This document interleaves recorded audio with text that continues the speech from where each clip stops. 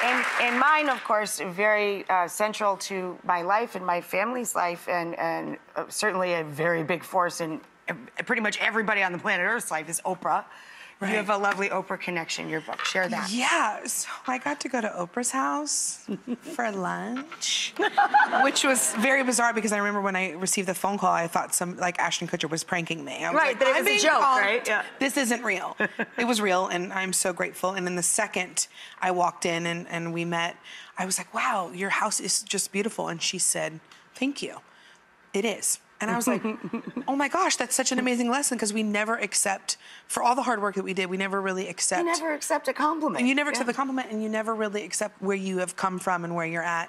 And I thought, in three seconds, in true Oprah fashion, I She have learned a it. lesson. And she- Exactly. yeah, I'm like, You had an aha. Oprah There moment. you go.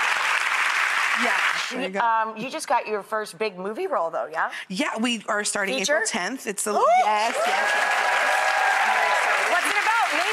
Come on. So, well, okay, so it's based on a true story. Um, a mother who, uh, her and her husband adopted a son from Guatemala on a mission trip, and fif- fif- 15, 16 years later, he was out on the lake where they live in St. Louis, and he fell through the ice. His two friends were rescued, but he was submerged for 15 minutes, clinically dead. Um, the fact that they even found him was a miracle. Um, and right, uh, because of the current. Yeah. yeah, and the, he was actually stuck between the top and the ice shelf. So if he went five feet God. over, they, he would have been gone.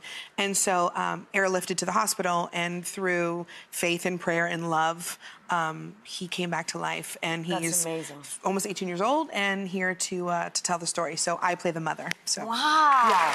it's really, really exciting. Yeah, yeah. Where are you guys shooting? In Winnipeg, Canada.